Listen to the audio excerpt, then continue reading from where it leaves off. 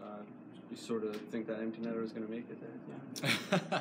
yeah. Well, the first one uh, that I tried I was actually trying to pass to Cares. I know he blocked a shot. I think he was a little limp getting to the middle. Um, and uh, yeah, the last one I just tried to put in the middle, and then luckily uh, their defenseman it was just out of his reach. Uh, how important was it? I know it's early in the season, but one goal lead in the third to you know maintain it. And I know you gave up the two penalties early, but I think you ended up out shooting them too. Yeah, uh, I know we talked about it. Um, playing with the lead going into the third period, it's it's obviously really important uh, down the stretch. It's um, it's a tough league to, to keep a lead in, uh, you know, especially when you're on the kill in the third period like that. But I think we did a pretty good job of uh, shutting it down, and Ruby was great in that.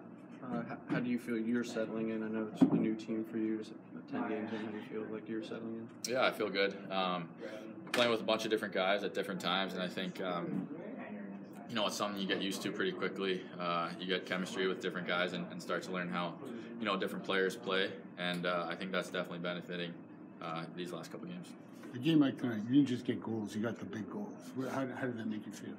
Uh, obviously, whenever you're scoring, it's it's uh, makes you feel pretty good. and when you get the, some big goals, when, when the team needs it, it's, it's great. But um, I think there's a lot of guys that played really well tonight. Uh, I think up and down the lineup, you could sort of find any line that, that could have scored. I know Fitzy had a, a, great great shot at the end there that their goalie saved. I think um, that's sort of the, the way this team's built is that anybody can score on any given night, and that's what makes us so tough to play against. You're local to the Flyers growing up. What's it like to play in their, in their system now? It's really cool. Um, I came to Phantoms games as a kid, so so playing here, it's obviously um, you know it's it's a great experience. There's a lot of family at, at, a lot of the games, so it's been a lot of fun so far, and uh, I just want to represent the, the sweater sweater well every time I put it on. Who were your favorite players growing up?